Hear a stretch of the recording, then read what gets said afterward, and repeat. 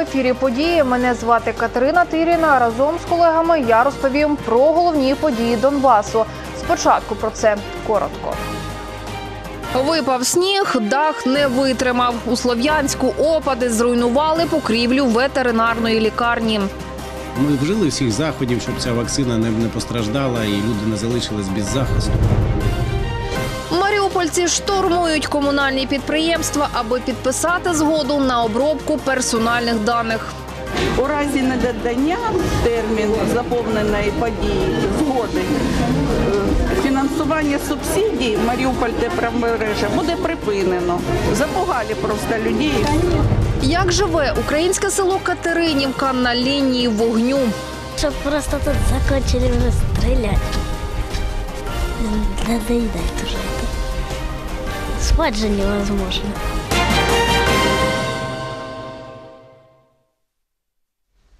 Випав сніг, дах провалився. У ветеринарній районній лікарні Слов'янська під вагою снігу не витримали будівельні конструкції, і парапет даху обрушився. Зруйнована третина шиферної покрівлі. Подробиці знає Наталя Нагорна.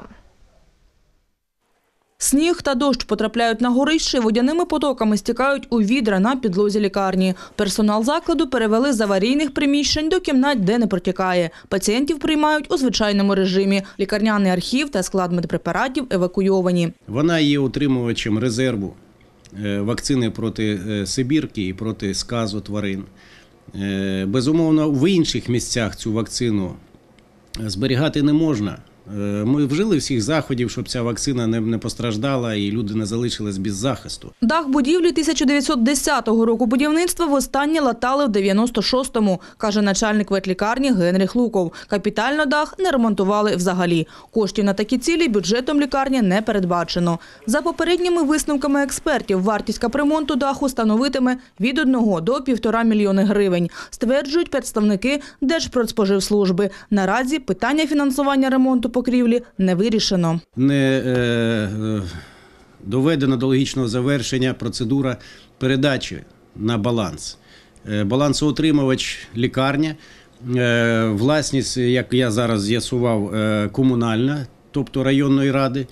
Ну, тобто, якісь замк, яке замкнуте коло, і ми зараз е, терміново шукаємо з нього виходу. На сегодняшний день ветеринарная медицина или представители ветеринарной медицины, у кого находятся эти здания, должны подписать с нами акты, вынести вопрос на сессию. Депутаты должны отдать эти помещения в аренду.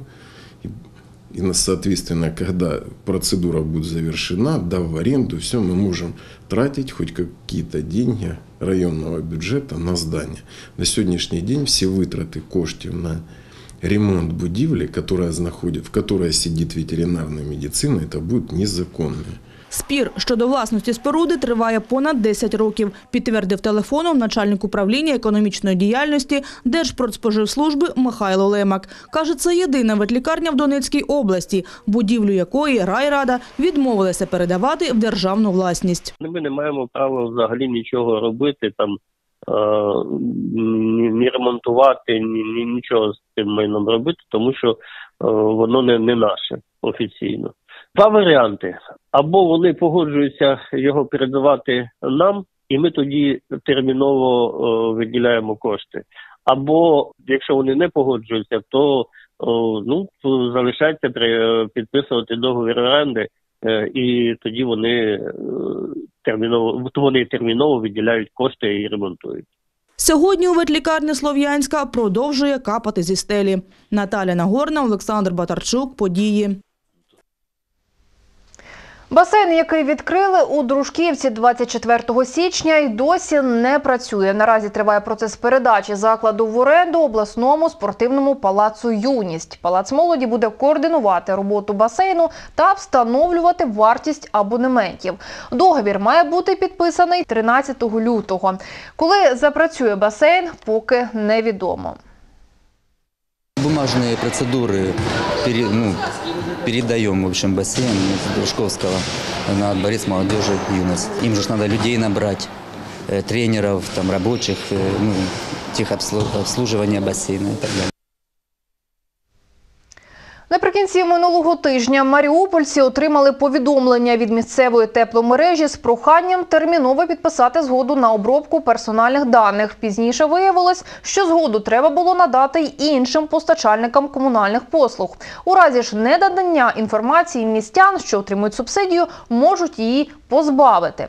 Сьогодні зранку маріупольці штурмували комунальні підприємства, аби підписати згоду. Та чи обов'язково вона і хто має право позбавити містян субсидії, дізнавалася Ганна Котихова. Это позор нашей власти.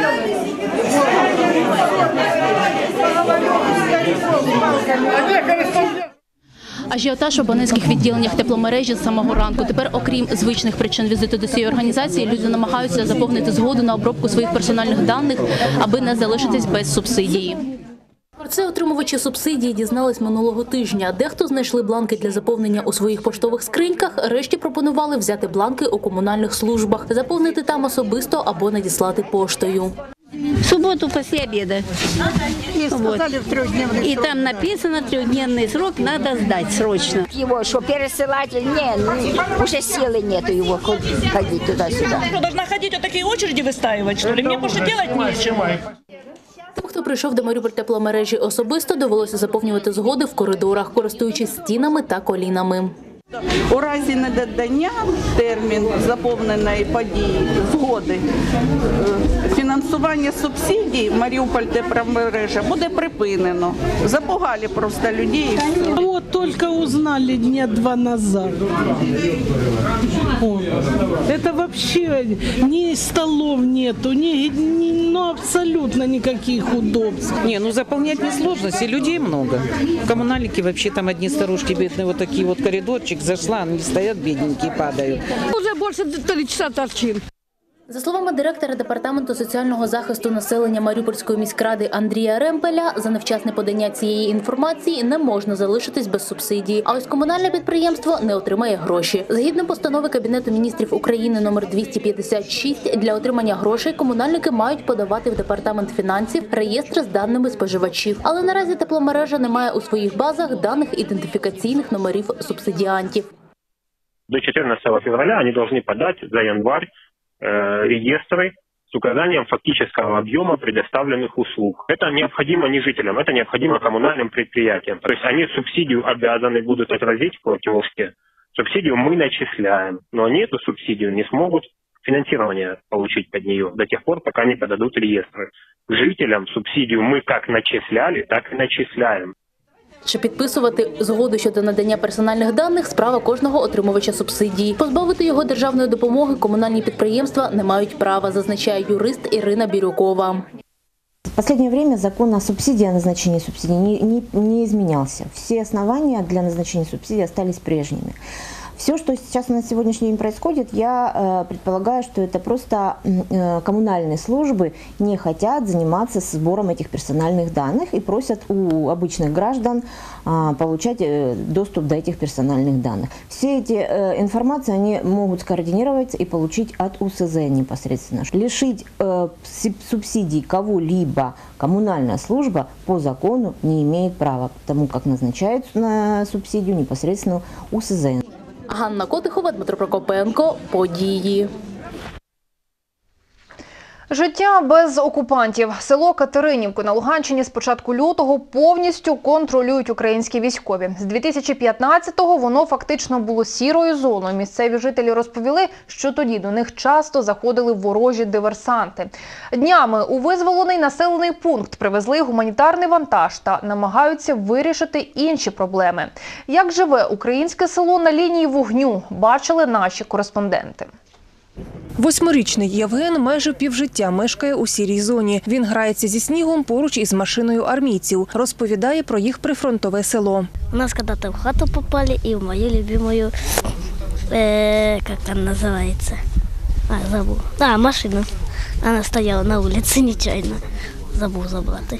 Сьогодні до Катеринівців вперше з моменту звільнення приїхали представники влади. До них ціла купа запитань від місцевих. Почему все заминировано? Мы скот не можем пасти. Почему? Кто заминировал? И те заминировали. Наши солдаты заминировали. заминировать. Наши солдаты заминировали для того, чтобы вы здесь спокойно жили. Головна проблема у селі, кажуть люди, відсутність транспортного сполучення та незручний для них режим роботи блокпосту в Золотому. Мы не могли не выехать отсюда. Блокпост работал с 8 утра и до 5 вечера. Естественно, что нам, чтобы куда-то ехать, мы не попадем ни в Попасну, ни в Личанск, ни в Северодонецк. Для місцевих блокпост тепер працюватиме на 4 години довше. Пенсії обіцяють привозити прямо сюди. Теперь будет приезжать сюда машина, и будем снимать здесь, отлично будет. Вот. Будет медсестра у нас здесь есть хорошая, будет врачи приезжать, будут отлично, все будет. Для нас, в общем, сделайте нормальную жизнь, которая была до войны. Мы рады. Кілька років до села не їздить шкільний автобус, тож малеча ходить до школи пішки. Вчера пришли со школы, ботинки, вода стоит в ботинках, поэтому и болеют часто. Пешкой ходят? Конечно, вот 6-7 километров на Солнечной. И все время так выходят и на горы, и на горы, и на гору. У Катериниці мешкає 290 людей, з них 16 школярів е, і ще четверо дошкільного віку. Тобто ми е, змінимо графік роботи шкільного автобусу, який завозить дітей е, у школу міста Золоте. І з наступного тижня шкільний автобус буде заїжджати до Катеринівки і забирати дітей до школи. Сьогодні у селі роздають гуманітарний вантаж. Полотенце, зубная паста, стиральный порошок, мыло, моющее. Ну, такое, химия разная. Військові кажуть, допоможуть провести і медичний огляд жителів. Сюди прибуде мобільний флюорографічний кабінет і проведе для місцевих жителів, жителів медичний огляд. Армійці говорять, бойовики не можуть змиритися із втратою Катеринівки, тож постійно провокують, б'ють по околицях села. Со стрелкового оружия с э, БМП. Вот сегодня ночью конкретно было стрелковое оружие БМП-1-2 работало. Вот, э, опять же, в качестве, в порядке провокации. Для того, с целью для того, чтобы вы- выявить наши огневые позиции. Поки роздають гуманітарку, житель Катеринівки Євген знайомиться з новими друзями та розповідає про свою мрію. Да ничего, чтобы просто тут закончили уже стрелять. М, Надоедает уже это. Спать же невозможно. Маленький Євген вірить, що ця його мрія обов'язково здійсниться і що відтепер у Катеринівці все буде добре. Юлія Щербак, події. У Краматорську змагалися бригади екстреної медичної допомоги. Десять команд з Донецької області показували навички в умовах максимально наближених до реальних ситуацій. Надавали допомогу у передчасних пологах, дорожньо-транспортній пригоді та при серцевому нападі. Обирали кращих столичні судді. Переможцем стала станція швидкої медичної допомоги міста Слов'янська. Вона поїде на всеукраїнські змагання у Тернопіль. Можете работать, мужчина потерял сознание. Безопасно, да? Безопасно, да. Реально оцениваем все параметры. Реально. Так, вывожу челюсть. Слышу, вижу, ощущаю. Реально работа. Вы меня слышите? Реагируем. Не реагирует. Пульс на отсутствует. Наприклад, от проводиться серцево-легенева реанімація. Тобто бригада повинна підійти, оцінити стан постраждалого. Якщо вона фіксує зупинку серця, вона повинна дуже швидко розпочати проведення серцево-легеневої реанімації. Паралельно вона повинна підключити монітор, зняти ритм, проаналізувати його, визначити, які вона повинна робити ліки. Провести чи не провести дефібриляцію. Это не игра, это настоящая работа, в которой оттачивается профессиональный уровень. Ведь самое главное по современным представлениям, по европейским представлениям, самое главное для бригады скорой помощи между работой реальной не быть в состоянии покоя, а быть в состоянии обучения. Бригада постоянно должна учиться. Події тривають і далі мова піде про таке. У Дружківці ремонтують соборну площу. Там заплановано два пам'ятника, за- також запланований підземний фонтан. Це місця відпочинку людей. Що робити, якщо сусіди перетворюють спільний будинок на смітник? Дышать невозможно ни в подъезде, ни в квартирах вообще. Летом даже форточки невозможно открыть. Рекорд в ополонці. Сєверодончанин просидів у крижаній воді 10 хвилин. чтобы люди видели, что это ничего сложного, и могли прийти, окунуться,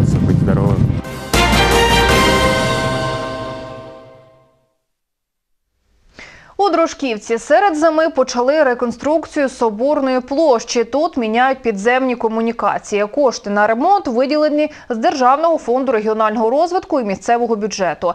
Подробиці в сюжеті Анастасії Славкової.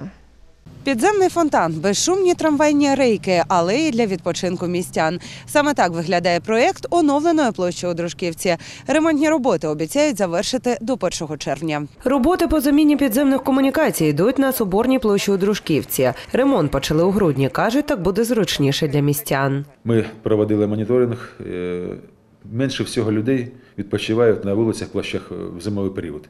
Тому, щоб до весни вже підземні роботи повністю закінчити і почати е, ті роботи, які вже будуть, скажімо так, тротуарні, благоустрій площі. Через ремонтні роботи 12 лютого мешканці будинків по вулиці Соборній залишилися без води. Люди кажуть, без води залишаються не вперше. Їх не попередили. Не посуду помыть, не в туалет, как говорится, простите. Ну, благо, что запасы есть трохи. Ну вас попереджали, щоб ви робили? Ні. делают реконструкцию площади по проекту. А для того, чтобы сделать, ну, реконструкция, как это называется, в каком плане? Все внешне изменить. Ну, для того, чтобы внешне, надо ж внутри поделать, канализацию, все по новой. Там же ж это с 50-х годов канализация. Поэтому надо все сделать. Безусловно, это неудобно, безусловно, это э, при наличии двоих детей это проблематично оставаться без воды. Ну, как-то ничего, справляемся. В компанії Вода Донбасу кажуть, що сьогодні біля будинку по вулиці Соборній номер 28 сталася аварія. Усуваючи аварію, тут також замінюють труби. Сегодня выполняем работы по замене ввода на этот дом с обустройством э, новой задвижки. Меняем полностью 5 метров трубы, которая пришла в негодность стальной, на полиэтиленовую. И будет там э, колодец, обустроим, будет новый ввод, так скажем, на этот дом. Ремонт проводить підрядна організація. Заміну труб контролює компанія Вода Донбасу. Мы давали технические условия при проектировании. То есть у нас брали согласования, требования наши. Э, Эти требования подрядная организация выдерживает. Мы э, практически ежедневно ведем контроль по э, строительству нового водопровода. Разом з підземними комунікаціями тут планують змінити 200 метрів трамвайних рейок на безшумні, аби вночі жителі сусідніх районів не чули руху транспорту. Кошти на реконструкцію площі виділені з державного бюджету регіонального розвитку. Це 34 мільйони гривень, плюс 10% з місцевого бюджету. Це ще 3 мільйони. Там заплановано два пам'ятника, за- також запланований підземний фонтан. Це місця відпочинку людей, алеї, які будуть, скажімо так, дуже прикрашати, зробити гарний від нашої площі і нашого міста взагалі. Навесні тут планують висадити декоративні чагарники. Обіцяють завершити до 1 червня. Анастасія Славкова, Андрій Різніков. Події. Джип спринт для аматорів екстремальної їзди. У Сєвєродонецьку відбулися зимові автомобільні змагання поблизу озера Чисте. З'їхалися 35 екіпажів з Рубіжного, Новоайдара, Лисичанська, Новопскова, а також були гонщики з Донеччини. Подробиці далі у сюжеті. С мостов вы, вывели сапуны, чтобы вода не выпадала. Самое главное, как бы иногда ныряем под воду. Вот сапуны вывели сюда. Володимир перевіряє автівку перед стартом. За декілька хвилин змагатиметься по бездоріжжю на швидкість. То каже вперше. Подготавливал, ну, года два готовился, как бы давно хотел, но вот первый заезд у меня, получается, будет. Посмотрим, что нам может автомобиль.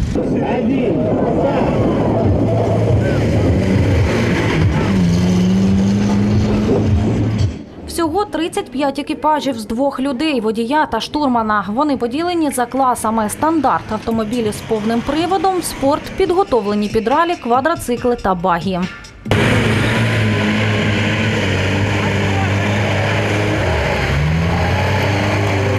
Тяжко, Поначалу первый круг был тяжелый, потом легко. Уже не знаешь трассы. Ну ничего, ездить можно.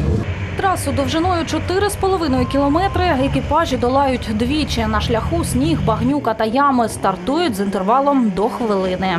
Стандартные машины ехали по упрощенной программе. Э, Автомобили э, с класса спорт и АТВ, УТВ, баги, квадроциклы ехали трассу со спецучастком. Спецучасток это немножко грязи и болота. Вот тут, э, то есть к стандартному кольцу прибавляют еще определенный кусочек трассы.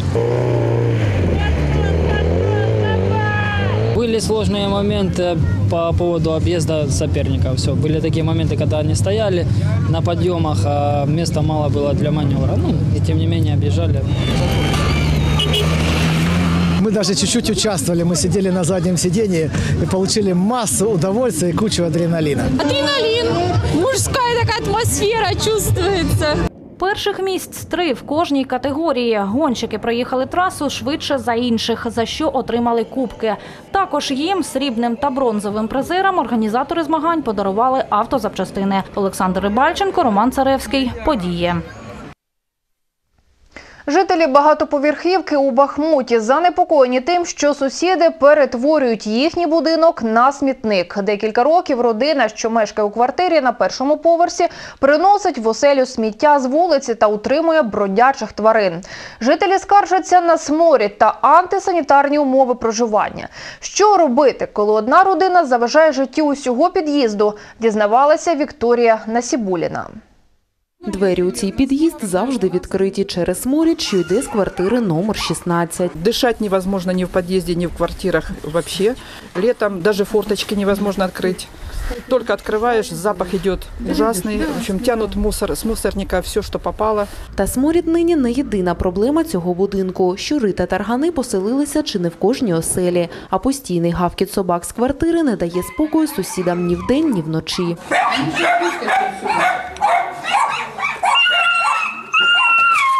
И мало того, что они их содержат, они их не кормят, они э, сдыхают то Ну, ли с голоду, то ли что они там с ну, ними и делают. выбрасывают Но в окно трупы потом. иногда появляются вот тут под окном. Пані Катерина розповідає, що сусіди з першого поверху виливають нечистоти просто біля під'їзду. У них отрезана э, газ, отрезана вода. Они теперь выносят и выливают все фекалии от прямо сюда. Вот где бы это Ані власниця квартири, ані її донька з нами спілкуватись не схотіли. Жителі цього будинку кажуть, що неодноразово звертались по допомогу до поліції та місцевих органів влади, але ті зробити нічого не можуть. За словами начальниці Бахмутського правового бюро, вплинути на неблагополучну родину і справді майже неможливо. Вплинути е, і виселити її за рішенням суду, в принципі, е, відповідно до чинного законодавства, неможливо. Можна такий громадський вплив е, робити, е, тобто намагатись якимось чином можливо допомогти. Я вважаю, що дійсно це тільки громадський контроль за цим може бути. Позбавити житла по такій причині відповідно до чинного законодавства неможливо. Вікторія Несібуліна, Володимир Богун. Події. Білгородський водовід з минулого тижня вп'яте зупиняють на ремонт. Жителі Сантуринівки району залізничного вокзалу в Костянтинівці залишаються без централізованого водопостачання. Сьогодні невідомі намагались вкрасти металеві труби і пошкодили водогін. Працівники міського водоканалу з 8 ранки усувають порив. Видно было, что копана была, труба открыта была, сдвинута, чугунина.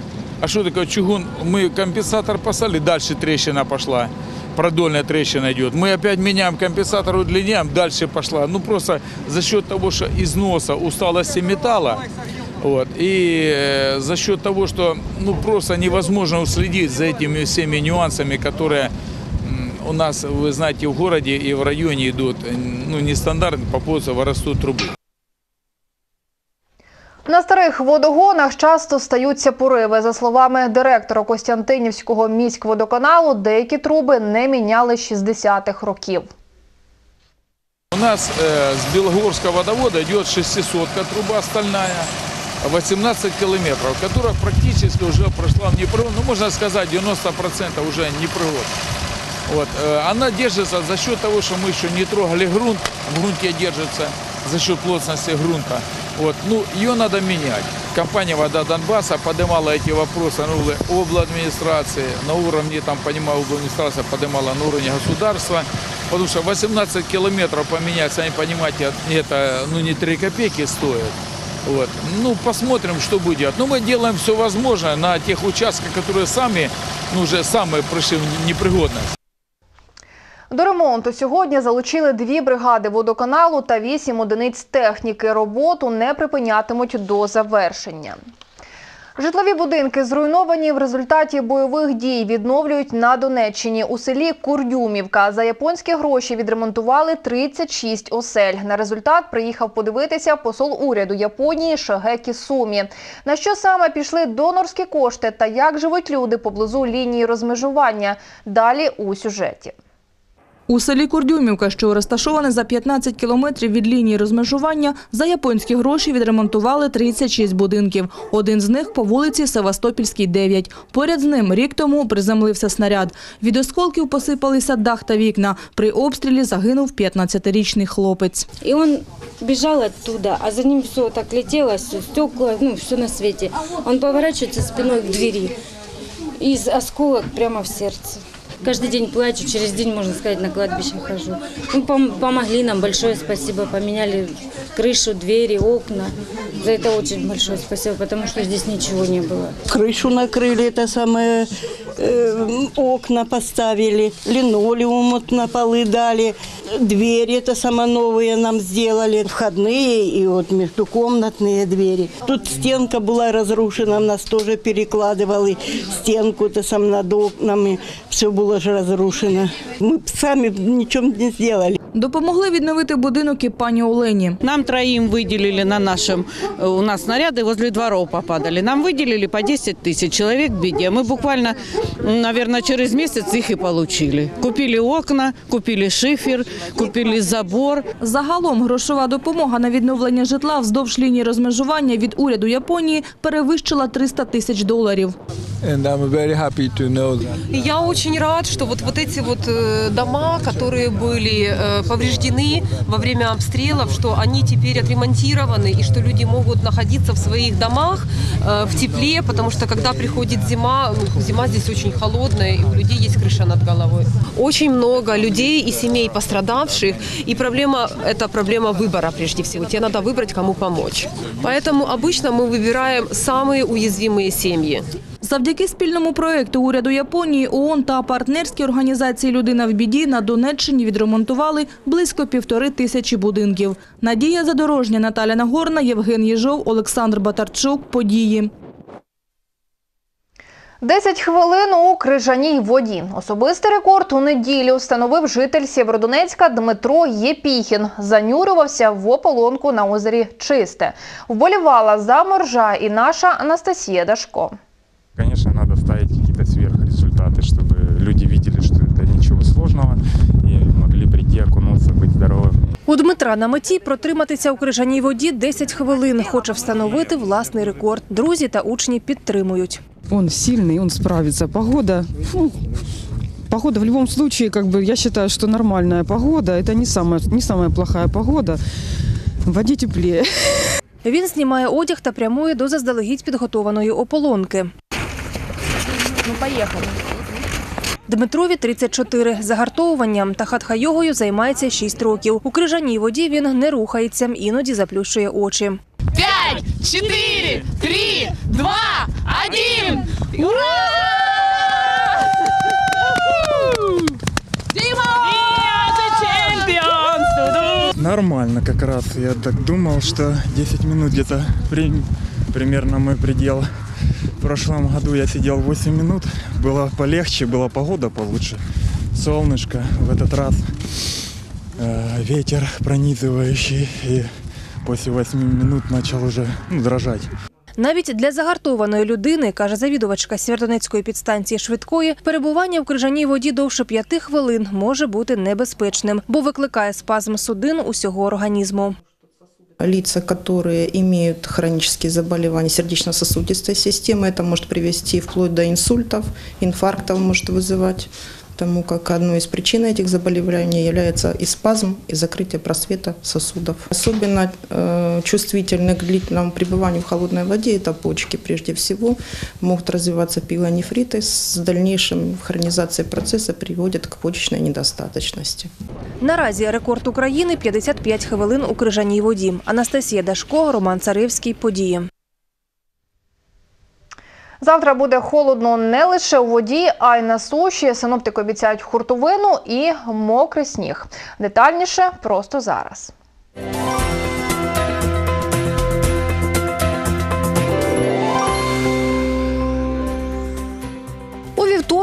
13 лютого, за прогнозами синоптиків, на Луганщині буде хмарно та сніжитиме. Місцями налипання мокрого снігу, хуртовина, ожеледиця та заноси на дорогах. Температура повітря коливатиметься від мінус 8 вночі до 5 морозу в день. У Сєвєродонецьку так само сніг та хуртовина. Стовпчик термометру опуститься вночі до мінус 7, в день мінус 4 градуси. Сніг та налипання мокрого снігу буде й у Луганську. Нічна температура близько 6 морозу, в день потеплішає до мінус 2.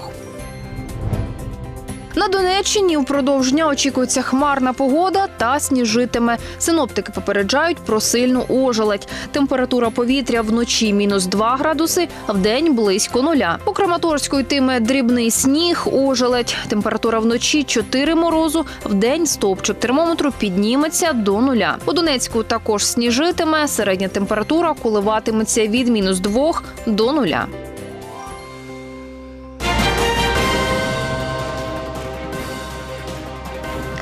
Таким був цей день. Більше новин на нашій сторінці у Фейсбук. А якщо вам є що розповісти подіям, телефонуйте до редакції за номером, що зараз бачите на екранах. Нехай цей тиждень буде легким, а новини приємними. Дивіться завтра події о сьомій ранку з моєю колегою Аліною Ященко. Я ж бажаю вам приємного завершення вечору і до зустрічі.